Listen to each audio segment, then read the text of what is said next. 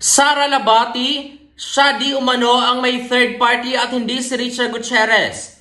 Ito ay ayon kay OG Diaz. Sabi ng aking source, eh, walang third party, hindi nang bububog si Richard. At yun nga ang sinasabi na hindi si Richard ang may third party. Di ba nung una, ang sinasabi ng iba, si Richard daw may third party. Tapos ngayon naman, ang sinasabi nitong aking source, si Sara Labati ang may third party. Usap-usapan ngayon sa social media ang panibagong vlog ni OG Diaz sa kanyang YouTube channel na OG Diaz Showbiz Update.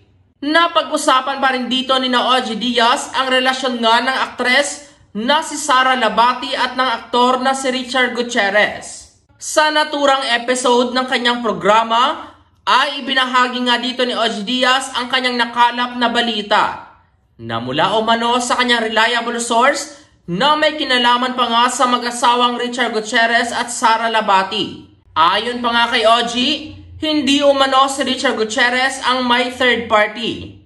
Narito nga ang kanyang pahayag. Aniya, sabi ng aking source, walang third party. Hindi nang bubugbog si Richard.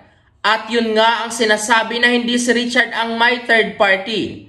Eh di ba noong una, ang sabi ng iba, si Richard daw ang may third party. Tapos ngayon naman ang sinasabi nitong aking source, si Sara Labati ang may third party. Ayon nga ang tinatanong ko kung true ba iyan. Sabi, tanongin niyo si Sara. Eh hindi ko naman close si Sara.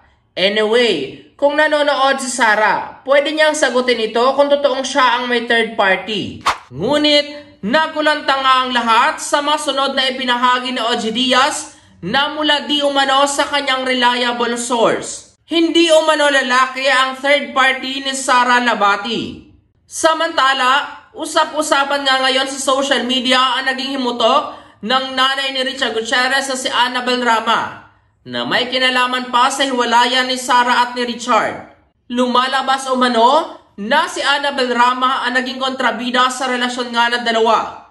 Pero ayon kay Annabel Rama, na kapag lumabas na ang buong katotohanan ay hindi na siya ang magiging kontrabida. Ayon pa nga kay Annabel Rama, sa panayam sa kanya ng EBS-7 reporter na si MJ Felipe, pinagbawalan umano siya na kanyang abogado na magsalita na may kinalaman sa hiwalayan ng kanyang anak na si Richard Gutierrez at Sara Labati. Pero, ayon kay Annabel, na nasa kanya na ang anak na si Richard Gutierrez. At unti-unti na itong naghahakot ng gamit. Dagdag pa nga niya na ang kanyang anak na si Richard Gutierrez ay trabaho lamang ng trabaho. Samantalang si Sara Labate di umano ay todo waldas lamang ng pera at sobrang magastos ito. Mula naman nga sa mga tagahanga o fans ni na Sara Labati at Richard Gutierrez na umaasang sanay malalagpasan nga ng mag-asawa ang kinakaharap nitong problema na may kinalaman sa kanilang relasyon. Pero, ang ikinapagtataka nga ng lahat ngayon, ang totoong rason ng di pagkakaunawaan ng dalawa.